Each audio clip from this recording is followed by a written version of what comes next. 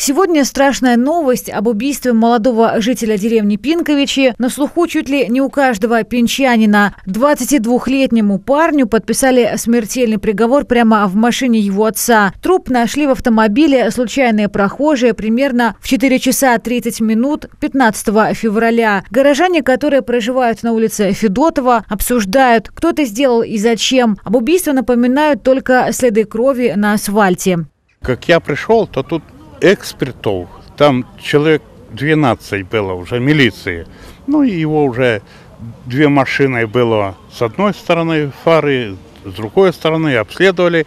И нас знали, ну уже это было, как вели в садик. Наверное, тут нападение было, разборки были какие-то другие. Раз там и тут, то не знаю. Рядом с погибшим обнаружили 20-летнего односельчанина. Медики скорой помощи в крайне тяжелом шоковом состоянии доставили юношу в реанимационное отделение. Как констатируют позже хирурги, у пострадавшего повреждена тазобедренная артерия. С приемного покоя был подан сразу в операционную, минуя все отделения.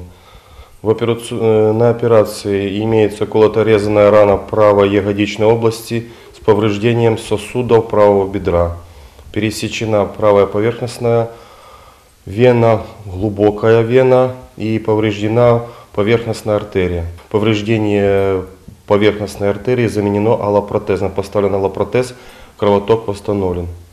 На сегодняшнее, состояние, на сегодняшний день состояние больного оценивается как средней степени тяжести. Протез работает, нога теплая, пульсация на стопе есть.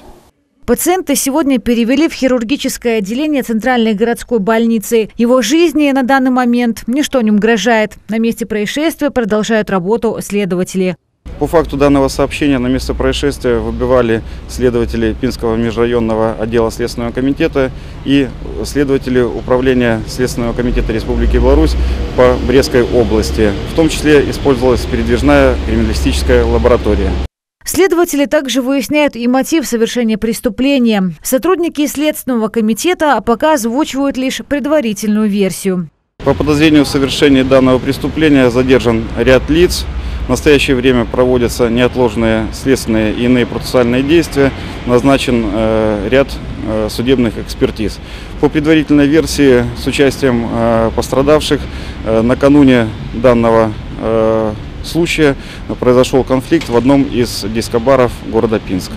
Пинский межрайонный отдел Следственного комитета Республики Беларусь возбудил уголовное дело по статьям убийства и покушения на убийство двух лиц.